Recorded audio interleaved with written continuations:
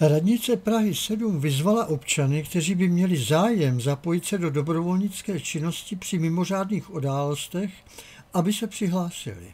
Na setkání s vedením radnice přišla polovina ze zhruba 60 přihlášených občanů se seznámit s podrobnostmi o jejich možném nasazení. Starosta městské části Prahy 7 Jan Čižinský vysvětluje, jak nápad zapojit občany vznikl a co bylo předmětem tohoto setkání. Nápad zapojit občany do mimořádných situací je naprosto přirozený, protože nelze řešit mimořádné situace jenom na základě eh, zaměstnanců. Vždy je nutné zapojit dobrovolníky.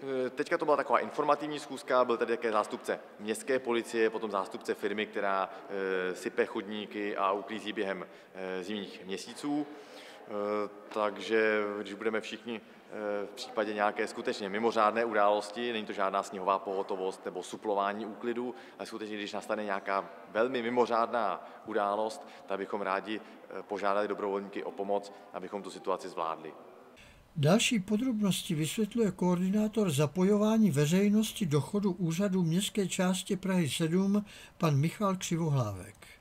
Na Praze 7 bydlí řada lidí, kteří jsou ochotní a schopni velice dobře pomoct v těch eh, chvílích, které nedokážeme, nedokážeme pokrýt tím standardním způsobem. Eh, proto se snažíme využít vlastně tohle potenciálu a tyhle dobrý vůle a použít ty lidi k tomu, nebo využít tu sílu k tomu, abychom zabránili těm nejhorším momentům, kdy třeba, jako jsme se přesvědčili nyní 12. prosince, eh, byla plošná ledovka, nedalo se chodit, hrozily úrazy, nejezdila doprava a lidé byli bez informací poměrně vlastně necháni sami sobě na pospas.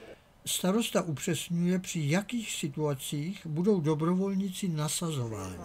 Tak nejvíc se samozřejmě obáváme eh, ledovky a povodní. Ledovka proto, že se to musí řešit eh, v řádu desítek minut, jinak se skutečně může mnoho lidí eh, zranit.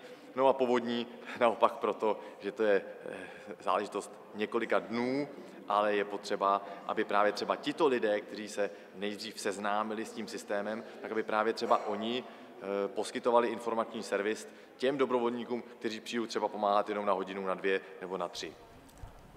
Kontaktování dobrovolníků vysvětluje pan Michal Křivohlávek. Pro mimořádné situace je důležitá ta flexibilita, proto naším vlastně hlavním, hlavním vodítkem nebo komunikačním kanálem je mobilní telefon, eh, jednak formou SMS, kdy budeme vlastně v případě očekávané události eh, ty lidi, lidi uvádět do pohotovosti, eh, po případě přímým voláním a domluvou, kde co je potřeba, v kterém místě vlastně nějaký krizový moment nebo mimořádnost, ve které chceme zasahovat. No já jsem, musím říct, že jsem úplně nadšený, protože dobrovolníků přišlo mnohem více, než jsme si mysleli. Celkem je na tom seznamu kolem 60 lidí a tak si myslím, že je velmi pravděpodobné, že ten systém bude skutečně dobře fungovat.